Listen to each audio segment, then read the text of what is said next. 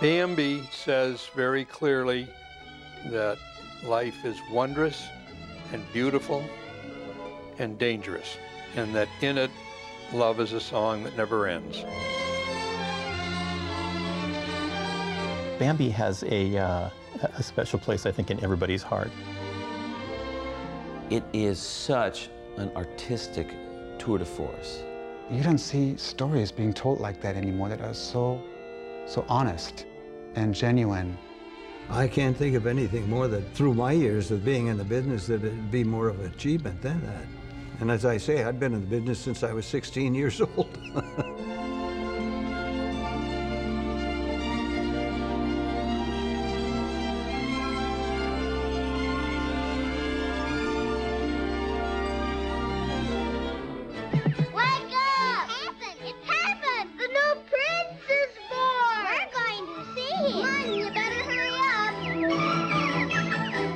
story of Bambi is really the completion of a cycle.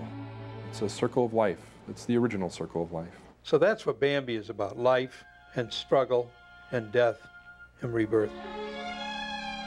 And 52 years later, we see the same theme popping up in The Lion King. We first started out on Lion King, it was a little bit of a coming of age story, and at times people would call it Bambi in Africa. In fact, we had trouble getting people to work on it for a while because we said, you know, it's really great. It's kind of Bambi in Africa with Hamlet and Elton John music. It's going to be great.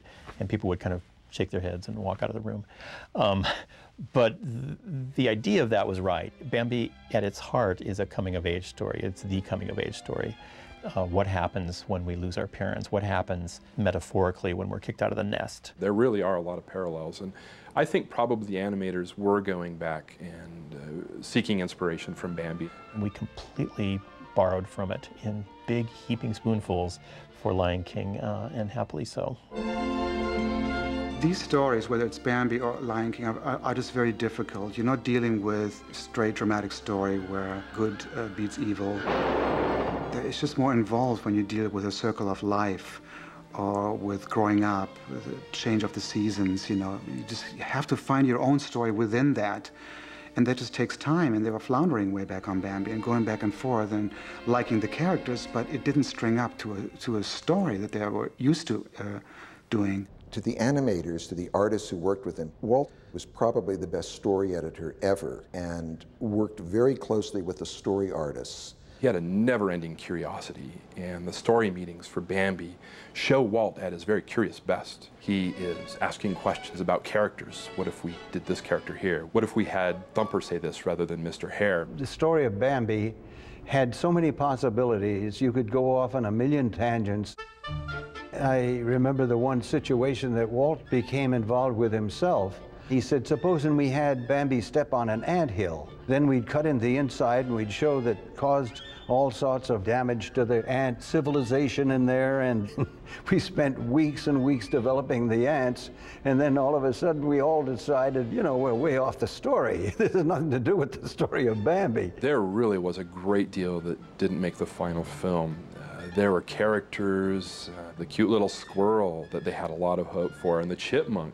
We had a family of grasshoppers, and they get into a family squabble over this or that. And Bambi is watching all of this, and here's the big head of Bambi and the little grasshoppers. And what's that got to do with the story, you know? And this would go on many times. For example, Thumper had a father who had a big role in the movie, which didn't really work out. They were just fine with just a mom. And there are lots of story sketches for things involving bees and insects. A wonderful sequence that Walt absolutely loved with a bee inside of Bambi's stomach and uh, how they would go to the ear to talk to the bee and then they would go to Bambi's mouth to hear what he had to say and gags. And uh, ultimately, all of this didn't end up in the final film. Well, I think a lot of the telling of any animated film, and particularly Bambi, from what I've read and heard from some of the people uh, that were very closely involved with it, is that it was uh, sculptural. And I know it was extremely long when they first put it together, you know, well over a couple of hours, and extremely complex. And to try to boil that all down like a fine sauce into something that is thick and rich and, and interesting and, and essential to tell that story. In all the Disney films, there was an enormous amount of what some people would say superfluous work, but Walt saw as necessary that was done and then cut. Uh, Bill Peet, one of the great story artists, once told me that if they had taken all the material they storyboarded for Pinocchio, the film would have lasted two days. Walt wanted to show the hunter burned to death by the forest fire that he inadvertently started. And he fiddled around with this for a long time. You know, we were going to show a boot and, and the charcoal all around it. In fact, I made the drawing for it. the hunter's boot and the, the charcoal and the, the charred tree behind them. But uh, I don't know, they just eliminated that type of thing. It, it didn't go over. It is man. He is here again. He wanted to have the impact, you know, of man coming into the forest and interrupting this nature. I mean, that's such an important part of this story, but you never saw it. And it made it so much more powerful.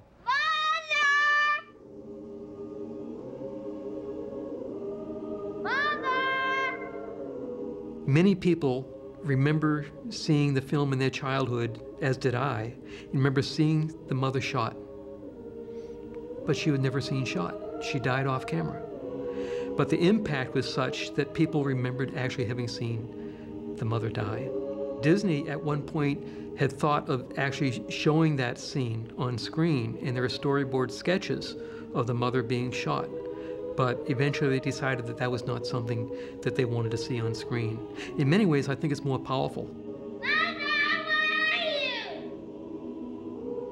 Lion King was a little bit of a different story. We felt like on that film we had to deal with a dead body, and Simba actually walks up to Mufasa and says, Dad, Dad, come on, we have to go home. I think we probably dealt with it in Lion King in a more 90s way. Simba had to go out and, and truly grieve over the death of his father. In Bambi, um, his mother's taken away, and he's never left to grieve or talk about it or deal with it. I think it's equally sad and dramatic, but I think it was right for The Lion King.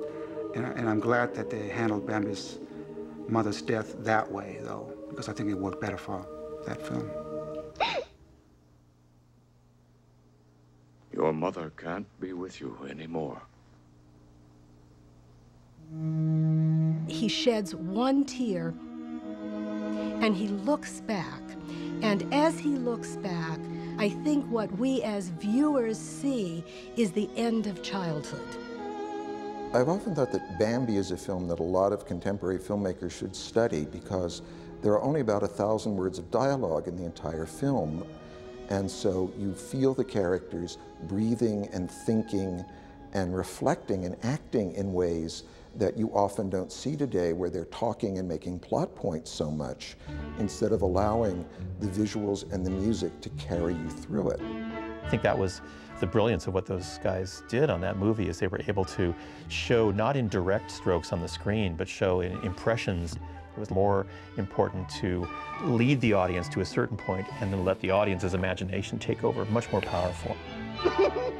And that's why, to me, Bambi, even visually stunning, but it still looks very lean story-wise, really boiled down to its essence. I would say that Walt had more to do with that than anybody else. A lot of people ask me uh, how much involvement did Walt have. Well, Walt had involvement from the very beginning to the last film that was put on the screen, the last little piece of film that was set on the screen.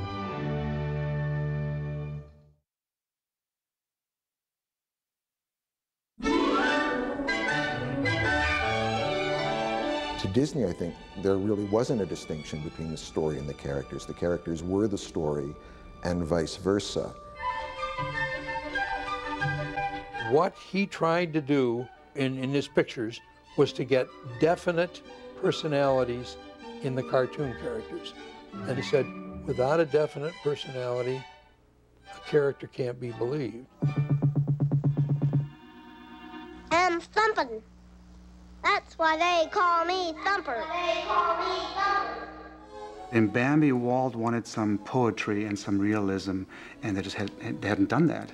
So he took his top animators, the top draftsmen from the studio, and even then he wasn't sure whether they could pull it off. And he left them alone for a while to do some test animation, and I remember Frank Thomas did the scene where Bambi's chasing the butterfly, and I also remember uh, Milt Kahl did the scene where Bambi is trying to jump over a fallen tree, and then flops on it, belly down. You didn't hop far enough. And those were the first scenes, the first pencil test that Walt saw. And they showed their pieces of animation to Walt. Fear and trembling because is it going to go or is it not going to go? These are the relationships that are going to make the movie. And after the lights came up, Walt turned around and he had tears in his eyes. And he said, That's pure gold, boys. And that's what Bambi became. Walt was always wanting to push the envelope of what animation could do. In a film like Bambi, he's clearly pushing naturalism to a degree that no one has matched since in animation, and it's unlikely anyone ever will. I think Walt picked his team for Bambi very, very carefully because he knew that this animation would, was going to be more difficult. It's not the cartoony type of animation that the animators had done that there would be a lot of study involved, years, years of studying. So he picked Eric Larson and Frank Thomas and Ollie Johnston and, Milt Kahl as his key animators, and that was a good choice because they just dealt with those assignments really, really well. They knew that what they were doing was not going to be easy. They knew that they didn't know what they were doing in the best sense of the word. And so they brought in the best uh, teachers from Chouinard Art Institute at the time and the best lecturers. Walt was convinced that with a little training that we could uh, put a lot of emotion and feeling into the animals without making them old cartoon type of animals, but realistic and uh, convincing. I think he was right, but I don't think most of the men themselves at the studio thought so. It was a big risk to do something like Bambi, and it was asking a lot from the animators to animate those kind of characters. Because when you look at the animals, and especially the deer that are in Snow White, they are so cartoony and simple and have really bodies like flour sacks. It's a great exercise to put those back to back just a, a couple years before to look at Snow White and then look at Bambi and see the care and attention to detail that's given to the anatomy and the locomotion of the animals. And it's all done with a pencil on a piece of paper, and it's pretty amazing. So this is one of the original model sheets that was actually used in the early 40s. This one has a date on it, 23rd of May 1940, when this was uh, approved. And you can just see by the variety of poses and the um, thorough uh, study of anatomy in, in these that this was something completely new. We found ourselves in a place where they had stacked it with cages with all of the animals that uh, would be in the picture, the skunks and rabbits. We had live deer running around the studio, so they became somewhat pets. And then they brought Rico Lebrun, who was a, a, great artist for anatomy, and they had anatomy classes. Just like you'd have a life class for a human figure, we had a life class of deer. But these were the structural things that we worked over and over, and he just drilled us and drilled us and drilled us to understand what the anatomy, what the bone structure of this, these little guys were. They approached Bambi the way Leonardo da Vinci approached human beings. And that's why the animation is suddenly different. It isn't some artist remembering deer that he saw on a farm when he was a kid. It's some artist remembering the deer that he studied yesterday with a pad in his hand. There was a story sketch artist, his name was Bernard Garbutt, and he did beautiful drawings of deer. But Bernard Garbutt had a very nice, simple way of getting a fluid feel into the drawings, and they started to move. They still didn't look like deer that could talk and would have human expressions, but he really simplified the deer body. And then Marc Davis came in, and he was able to really put human expressions and human attitudes onto a deer body.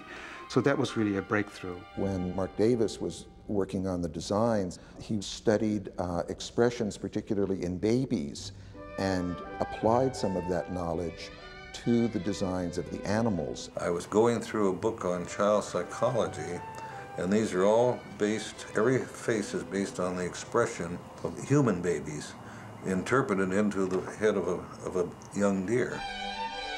And then the great Milt Kahl came in and looked at everything and then boiled it down to something that would be right for the film, that could be animated, and that would just feel right. We came as close as we figured we possibly could to the real deer and still be able to articulate uh, for dialogue and get uh, and have a full range of expressions. Go on, say hello.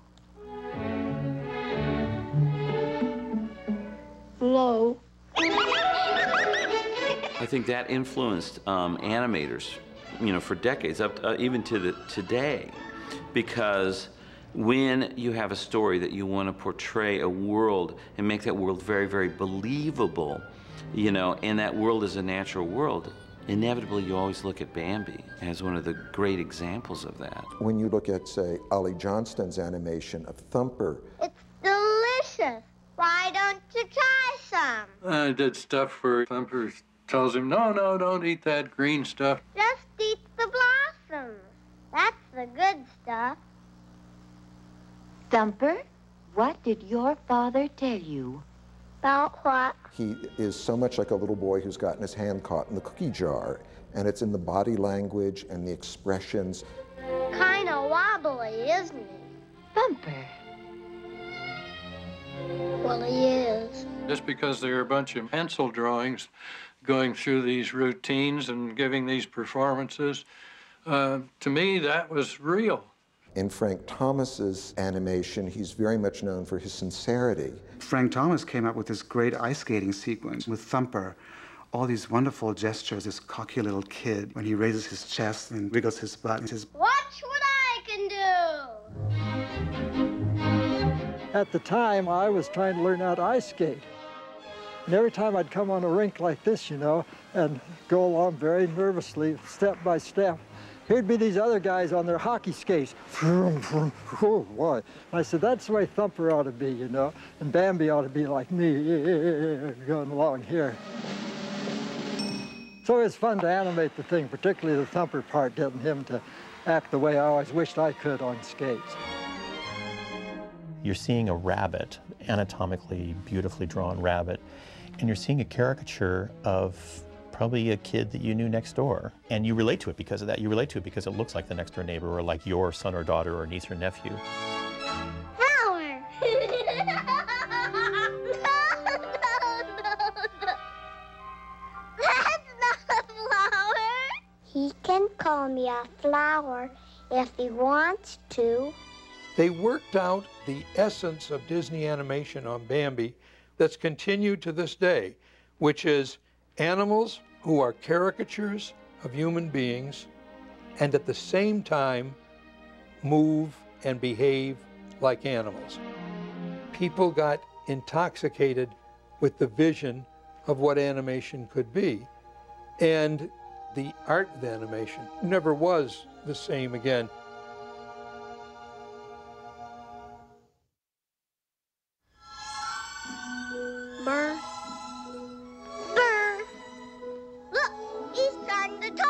Well, the voices in Bambi are not famous voices. They were not child actors that had been in films, Say bird.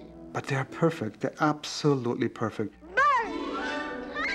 And that's what you're looking for as an animator. You don't really need a star. You don't really need somebody with a big name. I was uh, four years to six years old when we did the uh, voice of Thumper. My father was in the movie industry and heard that they were auditioning, and there were some 30 children who were at the voice recordings. Frank Thompson, Ollie Johnston told me the story of being in the recording session where they brought all the kids in and they were, you know, having the kids all do, oh, did he, the, the young prince fall down? Did he fall down? And there's a, did the young prince fall down? Did the young prince fall down? And the one who was leading the recording session was saying, "Oh, you know, get that, you know, get that kid to the back. You know, he can't act." But Frank and Ollie were sitting in the back of the, the recording booth, and they said that they were just like, "No, no, no, no, no! Let that br- bring that kid forward." They heard my voice and uh, decided it was perfect for the rabbit. And apparently that's what they said. He doesn't walk very good, does he? So that character was born out of that recording session. There was a thing going on. The casting director didn't like Peter Behn because couldn't apparently finish long sentences. You you had to feed him a few words at a time, you know. See, that's the only way you could do it. But, but you couldn't put two of them together. And there was one line where he forgot his line, and he said, If you can't say something nice, and then he had to think, you know. And then, he, then, then when he thought, then he, after he thought of it, then he could spiel off the rest of it up. don't say nothing at all. What came out in the end was so different and charming and unusual. Come on, it's all right. they found this innocence and sincerity in this kid to give you that performance and then to be able to have the animation to go along with it. Some fun! Huh, Bambi? As far as it being a distinctive voice, the people do say that, and and uh, I think maybe because it was authentic. Come on! You can do it! I was an exuberant kid, and I think it came out and made a very good match for the particular needs of the movie. As long as the voice goes along with the personality and the character, and it looks like, and or it sounds like that voice is coming out of that drawing, that's what really matters. I think I better go home now. I think these Bambi voices are perfect. My original hiring from Mr. Disney was to be the model. The first experience uh, that I re- recall doing any work there, when I sat on a stool, and uh, some nice people, uh, very gentle, would say, "We want you to look up like you're afraid, uh, look like you're surprised," and uh, we had a great time. Hello, Bambi.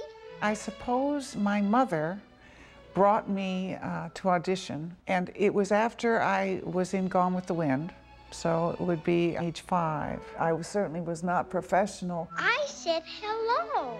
I think Mr. Disney had an extra sense of let's have real children in doing real children things because these are young children animals. It was very real to me doing it because I was being myself. He's kind of bashful, isn't he, Mama? If I hear that voice, that is a part of my childhood, and it's sweet. It's just very, it's touching. One of my embarrassments as an adult is that I didn't have the courage to tell close, trusted friends, 25 years in the Marine Corps, that I participated and was one of the voices of the wonderful work of Mr. Disney, Bambi. It was because I was in a part of the Marine Corps that was the Marine Corps Marine Corps. Okay? And if the troops I was leading as a battalion commander, if they found out that I was part of Bambi and I picked up the nickname Bambi, I would have been history. Pretty flower. If you think about it, I was in Gone with the Wind and I was in Bambi at the age of five when I peaked. So, um, you know, what are the chances of being in two classics and never doing another thing? Absolutely amazing. Absolutely amazing. In the case of Bambi, I think it, it was a it was a brilliant casting thing to stumble across you know people that could do those voices, and they really were tenacious about it. Um, and you find somebody like you know the Thumper voice, which is one in a million, and suggest that character. Um, yeah, he's a cute kid, but to be able to then take that voice and turn that into a piece of animation that's now become very memorable for all of us is really pretty special. Look, he's trying to get up. Well, it is funny to be associated with a bunny, but uh, I think the character of Thumper, uh, as it came through in the movie, is something I've I've always been uh, pleased and proud that I was uh, I was a part of that. What you gonna call him? I think I'll call him Bambi. Bambi. Yep, I guess I'm do all right. I had great admiration for this film.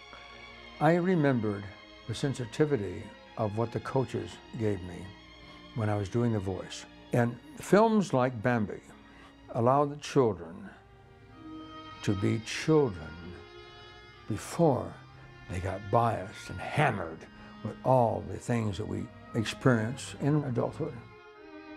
And I respect that deeply. It's just humbling. How did I get so lucky? And I feel a little guilty accepting praise or, or, oh my gosh, you did this because what did I really have to do with it? but I am never going to, um, to diminish the great good fortune. It's amazing that I would, I would have been in Bambi. It's amazing to me, and I'm very thankful.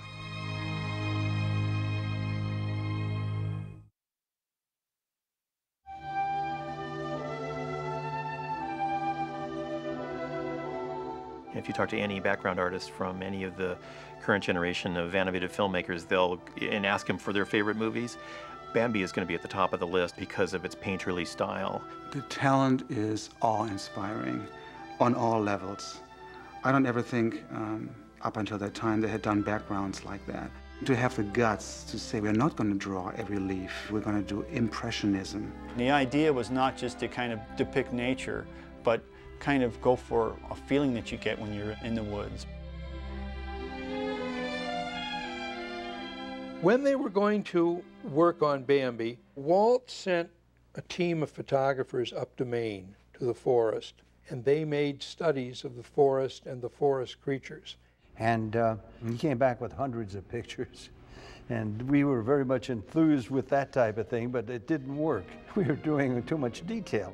And then after Walt looked at millions of leaves and trees, he was getting a little discouraged about how we're going to do this thing. Each of the, the, the great Disney features have certain artists who would kind of set the tone or the, the keynote them in a way. And on Bambi, it was Tyrus Wong, who was a Chinese artist who came to America as a young man, as a boy actually, uh, had studied art here, and he brought a Chinese aesthetic to his paintings. Because I got married. Mm -hmm. Chinese when you get married, well, you have to support wife, right? So I said, well, I talked to my wife. And so she asked him, I said, why don't you go over to Disney studio and ask for a job? So they took him in and um, put him to work as an in-betweener and training to eventually become an animator. Well, in betweening, you're doing the drawings in between the main drawings, and it becomes very repetitive, and, and, it can drive you crazy sometimes. And boy, when I did that, when I get home, my eyes would feel like it ready to drop out of the socket. It's constantly flipping the paper, and I think I was there for about a month or so. So I finally found out that they were doing Bambi. I'm mainly a landscape painter anyway. So I work up the tiny sketches and bring it in and show it to them. Tom Codrick, he said, uh, what, what are you doing? I said, well, I'm doing in-betweening. He said, maybe we put you in the wrong department. Walt had a wonderful way of organizing and finding talent, and uh, a typical Walt Disney discovery by seeing his work. It was some time later that we realized he had this marvelous color sense, and uh, that you'll see in the film itself. So that's how um, eventually the style of Bambi uh, came about. Tyrus Wong just needed a job in the Big Depression what Tyrus Wong brought to the art direction is just, it's just absolutely stunning. And he need thousands of small scale and large scale sketches that were very lyrical and had that poetry that Walt wanted. When you take a step back from the story, which is hard to do with Bambi, but if you can, take a step back, turn off the sound, and just start looking at every image, you will be so stunned at how every scene is like this exquisite painting of nature. Not realistic, in fact, very stylized, but it represents that feeling of being in the forest. It's the forest of your dreams and the forest you experience rather than the forest you actually see. And that's very much the aesthetic in Chinese landscape paintings. At that time, Chinese influence just natural, came natural with me. We realized the simplicity of Ty's backgrounds, you could still get all the color you needed with simple forms then the main characters would show up beautifully in front of that. I think uh, Walt was fortunate to have Tyrus Wong working there to come up with that concept. Although he's a very modest man and doesn't realize it, even today there are young artists who still look to him as one of the great talents ever to work in that area of design. It was transcendent, it really was. It's just absolutely beautiful and very unlike anything that we had ever done before at this studio. All of us, uh, when we start out, we look to, you know, what the masters did, and that's what, you know, they're, they're a bunch of masters. They, they paved the way. And so to see what Tyrus has done and it's giving you inspiration to, to kind of branch out yourself and explore new areas that, that haven't been done before because that's what these guys did. How much do you respect a stroke of brilliance? And I think that Tyrus was one of these painters that kind of come in and left his mark. It, it never dawned on me that uh, that's an influence, uh, that, you know. Hmm.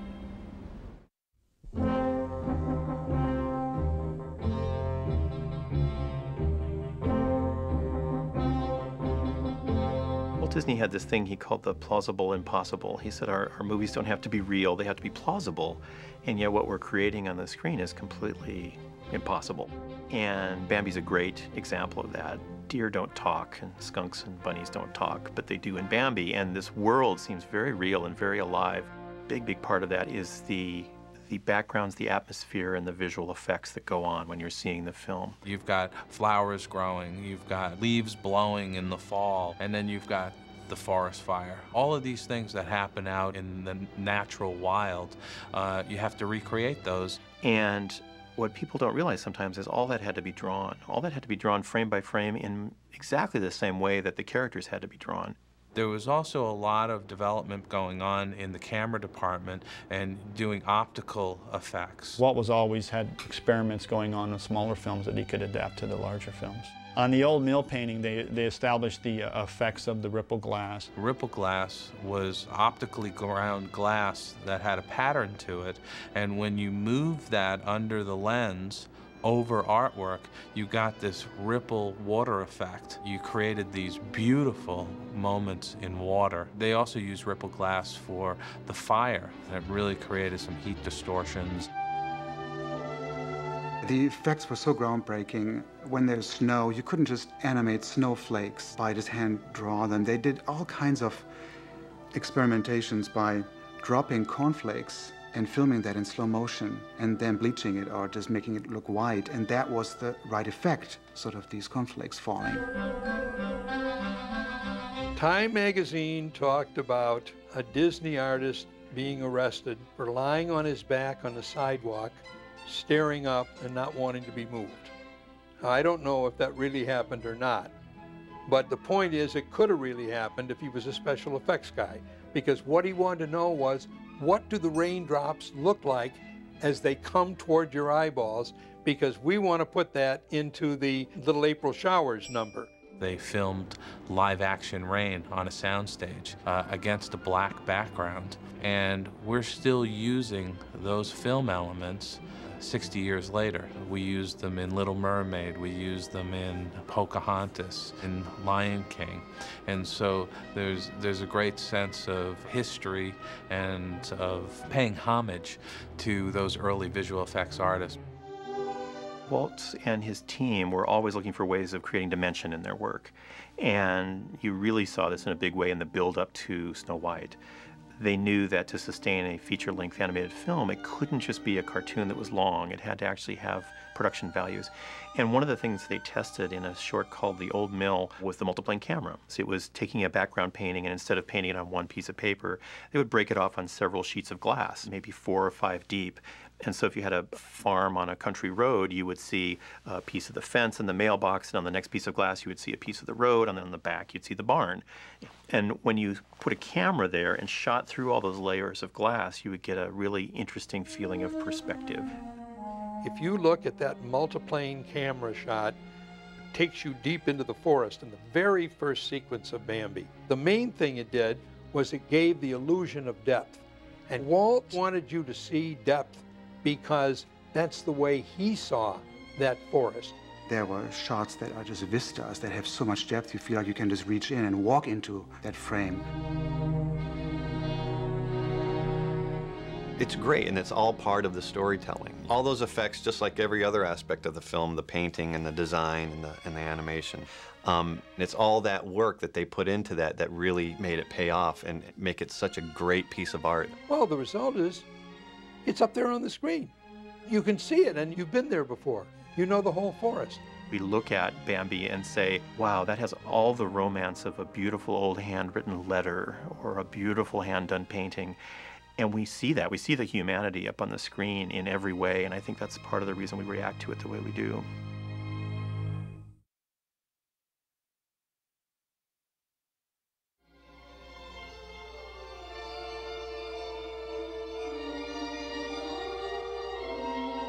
Isn't it amazing how subtle the music is in Bambi? You don't really realize how swept away and enveloped you are by it. Through that music, you actually enter the forest.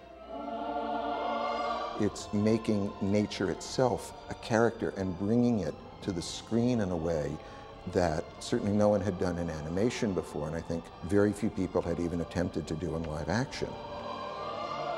And I realized that it was a pastoral symphony, just as Beethoven wrote, which was something that was in their minds at the time, clearly, because Fantasia was being completed at the same time.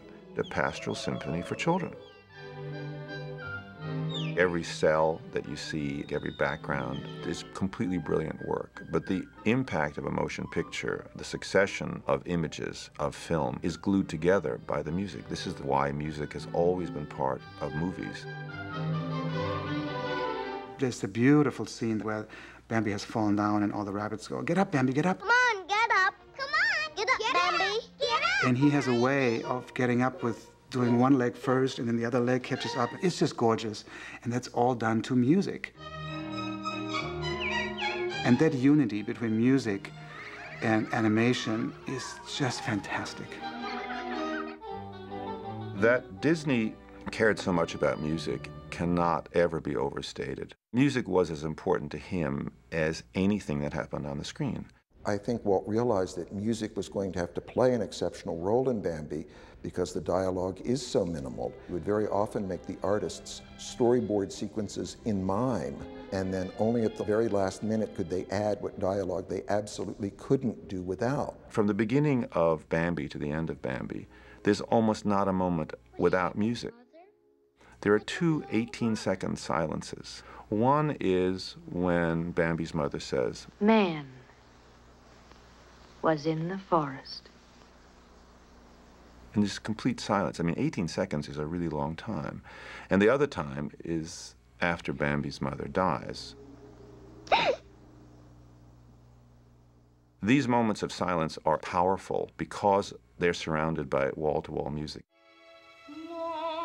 There were two Academy Award nominations for Bambi. Both had to do with music. The song Love is a Song was nominated and sung behind the credits by Donald Novis, who was a very important singer at that time. And also the scoring was nominated as well. The main composer behind Bambi is Frank Churchill. His music, his themes, his motifs were taken and then arranged into the final score. And Edward Plumb did what you would call secondary scoring. Plumb was a musical director for Fantasia, so when you hear some of his music in the film, it definitely has a more classical sound than Frank Churchill. Frank Churchill had had a, a, a huge success with Snow White. He had written all the songs and a lot of the underscoring, and th those were songs that uh, were on the hit parade. They were extremely popular. He wrote Who's Afraid of the Big Bad Wolf from the Three Little Pigs. His melodies were very simple, very catchy, and very memorable. He was relatively untrained, but uh, an intuitive natural musician who could come up with endless melodies. His on the job training was to play music for silent movies. What a lot of people don't realize is that when silent films were being filmed, the actors and actresses were being put into the mood of the scene by somebody playing a piano. And Frank Churchill used to improvise the moods for these different scenes. That experience made him the ideal person to set the mood, as it were, for a skunk named Flower or a little bunny named Thumper or for Bambi. I remember clearly how we were involved with the the first rainstorm, and we wanted a raindrop song that would show Bambi experiencing the first raindrops. And we didn't have anything at the time, and finally Frank Churchill came in one day. Frank was quite a character. He shuffled down the hall, and uh, he always wore his hat. And uh, he sat down at the piano wearing his hat, crossed his legs over, and he puts one foot on the pedal reaches in his pocket, takes out a little script, puts it down on the piano, and then starts to tinkle off on the piano there, this little raindrop song. And it was so charming, it was unbelievable.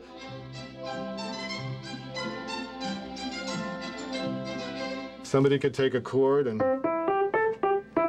and, and nothing, but uh, Frank Churchill could take it and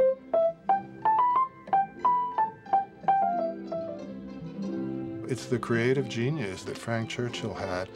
The way he makes us feel nature and yet write simple tunes of all different kinds of qualities is really quite interesting in Bambi. Ed Plumb, who was the other composer, is said to have studied with Johann Strauss, which is very believable. There's no question that between the two of them, they create a, a world of, of the past, maybe when we might have been closer to nature. And it's really amazing that the score is so unified because you have the very sophisticated work of Edward Plumb with its echo of Stravinsky and Ravel, and then you have the very childlike melodies of Frank Churchill. You have the, the main title, which is the Love is a Song theme, which is sung by a tenor, and then you have the music for the forest waking up, and it's just a very simple theme, but very lovely.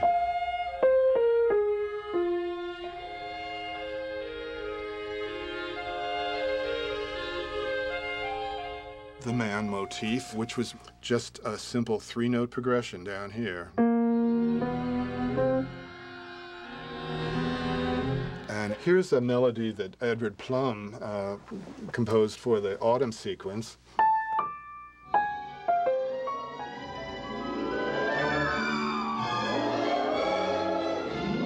Almost every measure of that is a different chord. The whole film just has emotional power to it generated by the musical score. Bambi is the first feature film of any kind where songs were sung off camera, not by the characters themselves, in order to pass on the narrative.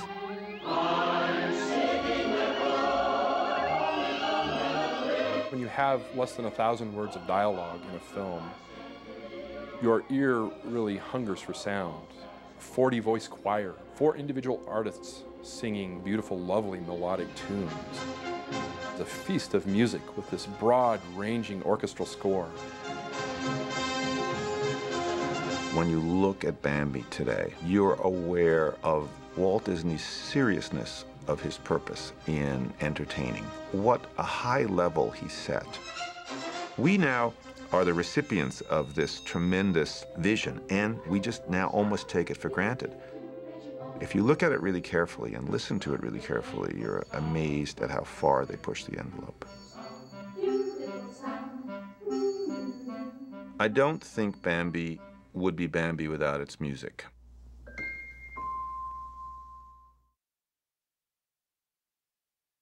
Of all the deer in the forest, not one has lived half so long. That's why he's known as the great prince of the forest.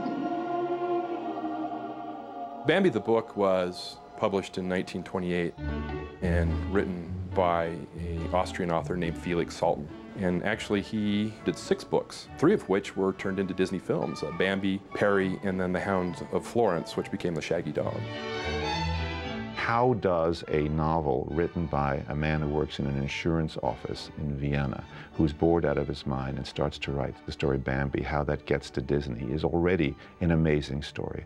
And it involves, of course, World War II. It involves everything that's going on at that period. Felix Salten's book came to Walt's attention by a fellow named Sidney Franklin in 1935. He was a producer and director of live action films at MGM, and his films always had a great understanding of character and story and a lot of heart. Films like Goodbye Mr. Chips, Mrs. Miniver. Salten's book was a natural for Sidney Franklin. He optioned the film rights in 1933, and for a couple of years he played around with making an actual live action version of the film. Sidney Franklin liked the book very much, but he didn't think that it was possible to do a picture that had that much emotion with the animals. So he realized the true medium for making Bambi would be animation, and my gosh, who better in the world to do this than Walt Disney, the king of animation? So he approached Walt Disney with the book. And the book itself had a lot of poetry and uh, beautiful scenes in it, and dramatic scenes. And when Walt heard about it and read the book and, and saw what the possibilities were, he became extremely enthused about it. I think Walt was always somebody who, he was a nature guy. He, he liked nature, he liked the seasons, and he liked the outdoors. And so, from that aspect, I think it was very close to his heart, and one of the reasons why he poured so much of himself into it. This is the kind of film he wanted to make, and it would be in advance. And so he risked everything. He was such a successful guy after Snow White and he puts it all on the line again immediately. I mean, who does that now? It's in incredible, incredible. In the early 1940s, they had already done the impossible. They made Snow White and the Seven Dwarfs. They had done the next impossible, which is that they had made Fantasia and Pinocchio. The last thing they really needed to do was like outdo themselves, and yet they decided to push the envelope one bit forward. That endless experimenting was very much Walt's personal style. I always refer to the making of Snow White, where everybody was saying you can't make a feature with animated cartoons, it's not going to work. A lot of people thought that, including animators. And when Walt came in and told the animators, he said, You know, I, my idea is. Dwarfs' names fit their personalities. This guy here, maybe he is grumpy. He'll be different. He's not just another old little old man. He'll be a grumpy little old man. And then this man here, we'll make him uh, sneezy, maybe. He'll sneeze. This little fellow is bashful. He's secretly in love with Snow White. By the time Walt got through telling him about his characters, everybody's saying, "Yeah, I think we could do that." Yeah, well, that's that's how Walt was. That kind of restless creativity that was never satisfied, that was always looking a couple of films ahead, um, I think is very clear in Bambi. And when you see the process by which it was developed, he's still experimenting and exploring and looking for, okay, where can we take this?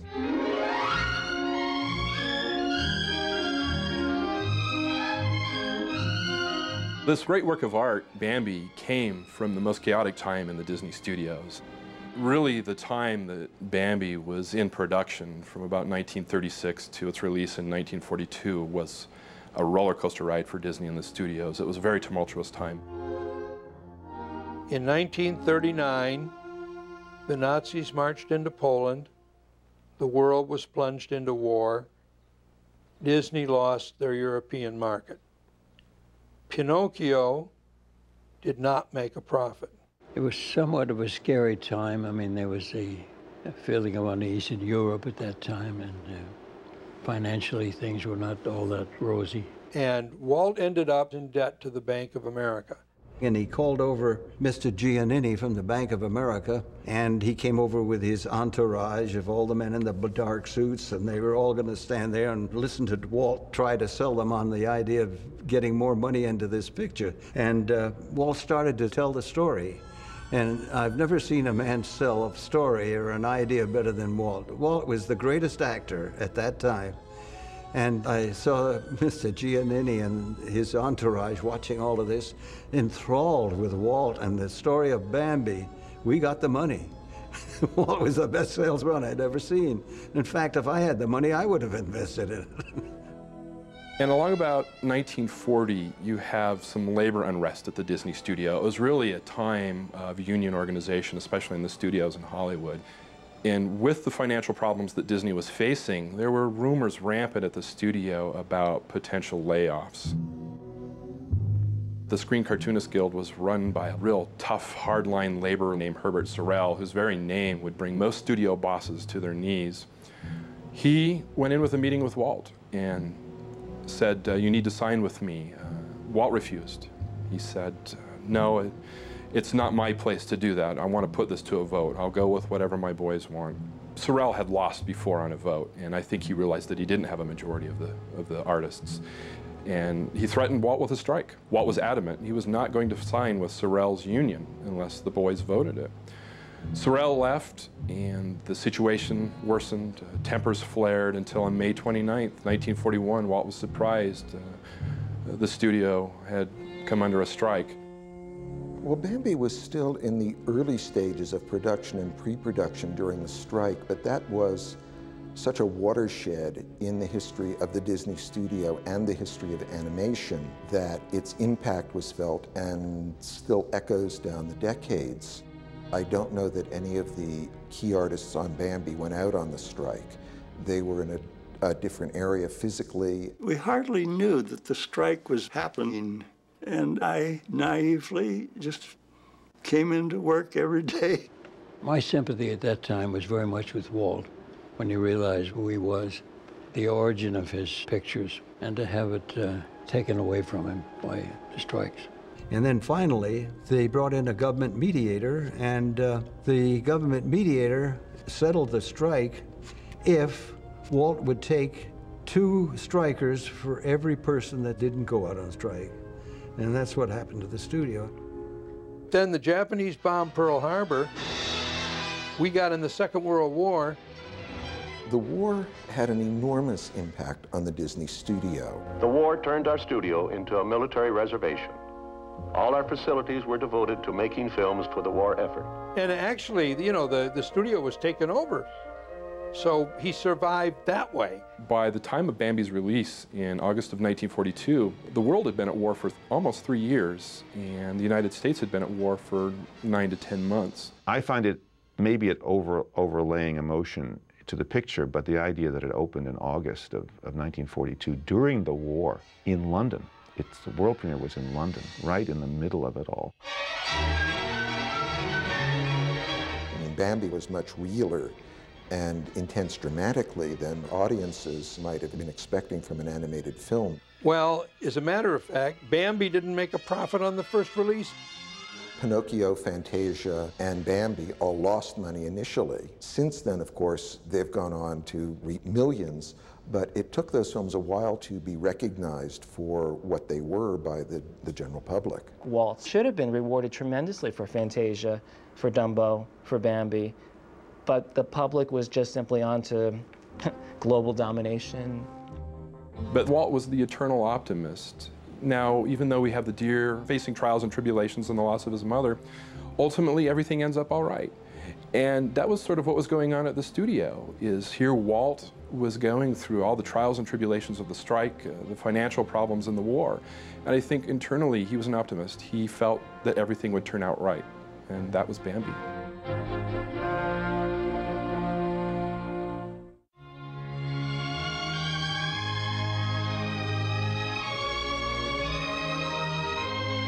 Bambi's a movie with great poetry and elegance and artistic integrity, but at its core is something very emotional. And of course, that's Disney storytelling at its best. This world could use some of the messages, that, that little beautiful story of Bambi. A film like Bambi will never get old. It's timeless. It it's really stands alone as one of you know the great motion pictures ever made. People talk about the philosophies, the art value, the animation, and the styling of that picture as being the epitome of the art of animation. Glad to have been part of that.